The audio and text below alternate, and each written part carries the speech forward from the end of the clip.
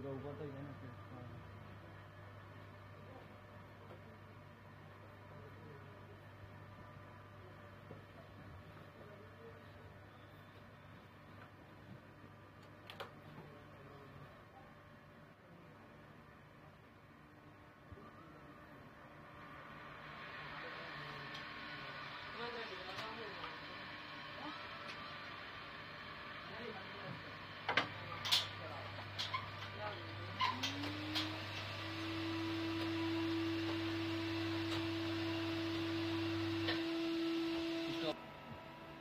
एक मिनट रुको यार और ऊपर। चल।